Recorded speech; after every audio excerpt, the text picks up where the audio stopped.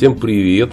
Продолжаем знакомиться с художниками. Михаил Маркианович Гермашев, Бубелла, русский художник, пейзажист, иллюстратор детских книг.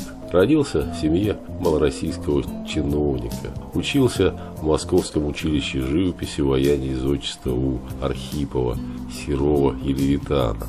Участвовал в ученических выставках. С 1890-х годов член группы московских художников «Среда», на выставке которой в 1911-м экспонировал несколько работ. С 1894 года участвовал в выставках Академии художеств, Московского товарищества художников, Товарищество передвижных художественных выставок. Я пользуюсь Википедией. Картина «Снег выпал» получила в 1897 году первую премию Московского общества любителей художеств. Ее купил для своей галереи Третьяков.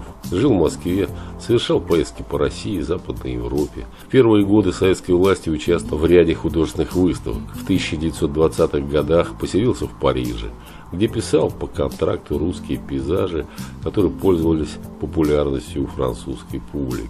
Его картины охотно покупали, выставлялся в салоне национальных обществ изящных искусств, галерее Жерара. Любимыми темами Гермашева были зимние и весенние пейзажи средней полосы России. Кроме знаменитой картины «Снег выпал», в этом плане наиболее удачными, пожалуй, можно считать полотна «Незамерзшая речка», «Серый день», «Дождливый день», «К весне», «Со звездой». К 1890 годам Гермашев выработал ряд художественных приемов, неизменно помогающих создавать ему лирические картины, которые нравились почти любому зрителю. Работы по-человечески интересны не только творческим наполнением, но и как художественный документ того времени.